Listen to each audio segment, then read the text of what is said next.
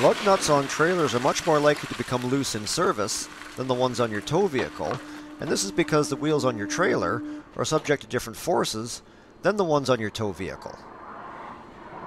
When traveling in a straight line, the trailer wheels follow the tow vehicle with no issues, but when turning corners, the wheels are subject to a high degree of side loading as the tires are dragged sideways across the pavement because trailer axles don't steer. This subjects the wheels to a great degree of sideways flex and can cause the lug nuts to loosen off over time. Note the position of the two tires relative to each other here as I move forward, and watch as it changes while I turn the corner.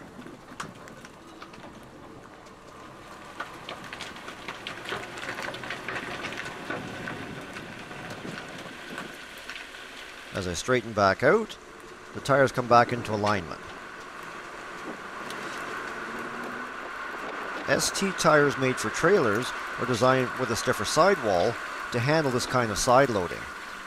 A sharper turn, such as from the right lane into a driveway, results in even more sideways force, as shown here. Notice the amount of deflection in the tire, and how it snaps back over when we leave the pavement and get onto the gravel driveway. Preventive maintenance takes the form of using a proper torque wrench to check lug nut torque ideally before every trip. Follow manufacturer's specifications if available. If there are no specifications for your particular trailer, most will be in the 90 to 100 foot-pound range.